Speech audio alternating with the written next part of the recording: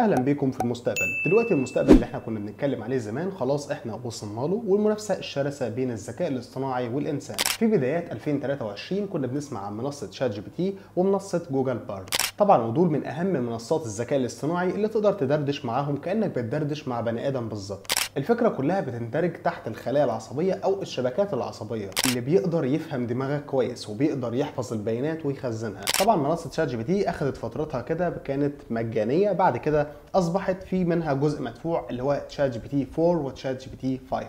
دلوقتي أنا هقول لك على البديل اللي تقدر تستخدمه من ChatGPT وفي بديل تقدر تستخدمه ومجاني 100% لكن حاول تلحق لو أنت محتاج تبحث على أي حاجة تقدر تستخدمه بشكل مجاني. طبعا أنا مش هقول لك مواقع غريبة اول مرة أنت تسمعها أو منصات هي بتقلد ChatGPT لكن أنا أدخلك على منصات رسمية من شركات عالمية تقدر تستخدمها بديل لتشات جي بي تي تعالوا بينا كده نبدأ الشرح علشان ما أطولش عليك. ما تنساش تدعمني ب like و subscribe. يلا بينا. دلوقتي زي ما انت شايف كده أنا على ثلاث منصات بس أنا هبدأ الأول معاكم بمنصة تشات جي بي تي والمنصة المجانية اللي كل بيقدر يستخدمها. ولو انت مش عارف تعمل حساب أنا سايب لك رابط موجود في التعليقات أو الوصف. هقول لك إزاي تقدر تنشئ حساب على منصة تشات جي بي تي بطريقة مجانية وبالخطوات. طيب دلوقتي زي ما انت شايف كده أنا قدامي تشات جي بي تي طبعا ده قدامي تشات جي بي تي 3 طبعا في هنا عندي تشات جي بي تي 4 أو جي بي تي 4 ممكن أعمل له upgrade تقريبا هنا ب 20 دولار في الشهر. طبعا بيديلك بقى بعض المميزات غير الطريقة أو النسخة المجانية. يعني مثلا لو جيت أسأل تشات جي بي تي قلت له هنا في رسالة ماذا تعرف عن آيفون 15 برو ماكس؟ تمام؟ بضغط على إرسال. طبعا تعالوا بينا نشوف هيقول لنا إيه. زي ما أنت شايف كده قال لك عذرا ولكن انقطاع معرفتي تقريبا في يناير 2022 ولا يوجد لدي أي معلومات حول هاتف آيفون 13 برو ماكس.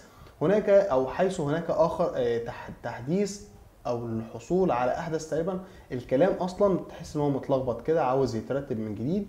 يفضل مراجعة موقع شركة أبل. طبعا هو بيقول لك أنا ما أعرفش أي حاجة عن آيفون 15 برو ماكس مع إن إحنا كنا بنسمع عنه كتير. طيب دلوقتي إحنا بقى نستغنى على النسخة المجانية ونروح بقى للنسخة البديلة لتشات جي بي تي زي ما انت شايف كده أنا بروح عندي على جوجل بارد وجوجل بارد ده ده طبعا النسخة المجانية التجريبية من شركة جوجل. يعني مفيش فيها أي لعبة خالص. شركة جوجل وهسيب لك رابط التسجيل موجود برده في الوصف أو التعليقات.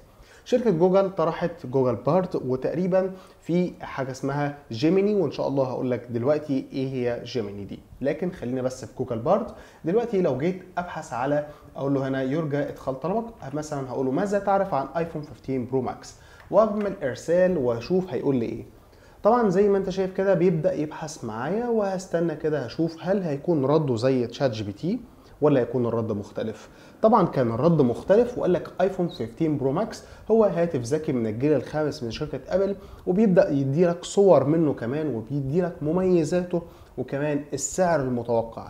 يعني هو ده بديل تشات جي بي تي. انسى خالص تشات جي بي تي بقى هو خلاص بقى فيه منه نسخ كتيرة جدا وبقى فيه مواقع كتيرة بتقلده. لكن جوجل برضه يفضل النسخة أو النسخة التجريبية هي المجانية إلى الآن والبديلة لمنصه تشات جي بي تي. طيب هل ينفع إن أنا مثلا أحل quiz ات من على تشات جي بي تي؟ لا خالص. لكن جوجل برضه تعرف أنت كل اللي عليك بس بتروح عندك على تحميل صورة وبتحمل أي امتحان. أو بتحل مثلا معاه أي واجب أو أي حاجة أنت تقدر تحلها مجرد بس ما تيجي تصورها وتبعتها لجوجل بارد وتقول له من فضلك حل لي مثلا الامتحان ده أو من فضلك حل لي الواجب معايا. وهو بالفعل بيبدأ يساعدك ويحل لك كل الواجبات وكل الأسئلة اللي أنت تقدر تسألها له على منصة جوجل بارد. طيب تعالوا بينا كده نشوف المنصة الجديدة واللي طرحتها جوجل تقريبا امبارح بتاريخ 18 12 2023 طبعا المنصة دي هتبدأ تظهر وطبعا انت هتسمع عنها حاجات جميلة جدا. طيب تعالوا بينا كده نشوف على جوجل ديب مايند. نشوف بقى هو العمق دماغ جوجل شكلها عامل إزاي. هروح مثلا أحول باللغة العربية علشان كلنا نفهم. في حاجة اسمها جيميني أو جيميني تمام؟ بتروح تنزل تحت كده بيقول لك من الألف للياء لتعدد الوسائط والتفكير بسلاسة. تم تصميم عبر النصوص والصور والفيديوهات والصوت والتعليمات البرمجية. طبعا في عصر الذكاء الاصطناعي أنت مجرد بس ما بتيجي تنزل شوية كده بتتفرج على شكل المنصة تقريبا شكلها جامد جدا بصراحة. أنت هتنزل بس تحت طبعا بيستخدم الشبكات العصبية للجي بي تي 4 طبعا هتنزل كده للآخر خالص ويقول لك هنا طبعا بي بيجي بثلاث أحجام في حجم نانو في تقطيعه وفي فائق. طبعا الاكثر كفاءة للمهام التي تتم على الجهاز طبعا تستخدم فيه جهاز اللي هو ال PC هنا أفضل نماذج لدينا لتوسيع عبر مجموعة واسعة من المهام. نموذجنا الأكثر الأكثر قدرة وأكبر حجما للمهام الشديدة التعقيد. طيب أي شيء إلى أي شيء تمام؟ هننزل تحت كده شوية عشان ننزل بقى نشوف هو يعني بيتكلم عن إيه. طيب هننزل تحت كده على جوجل بارد هيحولنا على جوجل بارد. ممكن أسأل جوجل بارد أقول له هو إيه هو جيميني برو ممكن يقوم محولني كده على جوجل بارد تاني وأكتب هنا على جوجل بارد ما هو جيميني برو وتعال بينا كده نشوف المنصة الجديدة اللي طرحتها جوجل امبارح هي بتتكلم عن إيه. طبعا لما جيت أقرأ عنها لقيت حاجات غريبة جدا وفوق القدرات العقلية أنت حتى كمان يعني هتستوعبها بصعوبة جدا. يعني بقول لك هنا ده لغة آه نموذج لغة كبير تطورت من شركة جوجل. طبعا إصدار محسن ننزل تحت كده هو كان أصلا من 2022 يتكون Gemini Pro من 1.6 من عشرة تريليون معلمة تمام؟ وهو ما يقارب ضعف حجم Gemini الأصلي. هننزل تحت كده شوية بيقول لك بيتوفر منه إيه؟ إنشاء محتوى إبداعي تقدر تنشئ عليه محتوى إبداعي وكمان قصائد وروايات. وممكن كمان تعمل منه تطويرات للمنتجات بتاعتك. يعني من الآخر أنت تقدر تستخدمه للمحتوى اللي أنت بتقدمه على الإنترنت أو بتستخدمه في زيادة المبيعات اللي أنت بتقدر تحققها على الإنترنت وكمان التسويق الإلكتروني. طبعا ده جزء بس من الذكاء الاصطناعي الخاص بشركة جوجل والبديل ل ChatGPT.